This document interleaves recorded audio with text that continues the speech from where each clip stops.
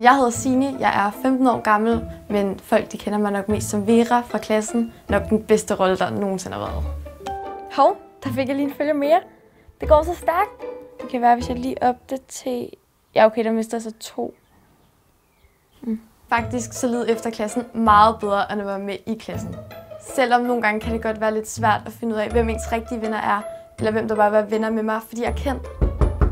Signe, vil du ikke nok lege? Nej, jeg gider ikke. Altså, du synes bare, du mig kun, fordi jeg er kendt. Så slap dog af. Jeg er din lille søster. Det er selvfølgelig lidt nederen, der ligger paparazzi-fotografer på lur over det hele. Men jeg er faktisk blevet ret god til at blive genkendt. Altså, I får meget. Jeg har også ret til lidt privatliv.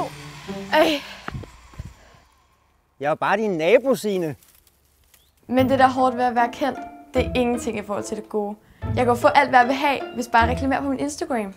Øh, jeg synes, at jeg ved sgu ikke, hvem du er. Så den her kaffe, den får du ikke gratis. Altså, jeg er influencer. Prøv at kigge, hvor mange følgere jeg har.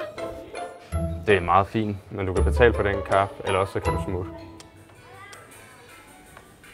Fint, jeg betaler. Det vigtigste som kendt skuespiller, det er, at man holder fødderne på jorden, så det her VIP-liv ikke stiger til hovedet. Øh, undskyld.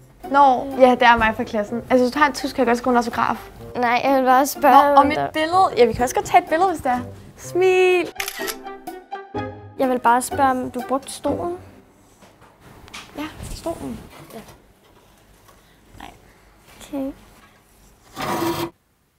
Signe, er du sikker på, at alt det her det passer? Altså, ja, ja, lyd efter klassen er mega fedt. Det er jo ikke, fordi jeg er ked af ikke at være med længere. Jeg håber, at du synes, at den her video var sjov, fordi det hele var altså 100% for sjov. Øhm, jeg er slet ikke sådan her i virkeligheden, tro mig.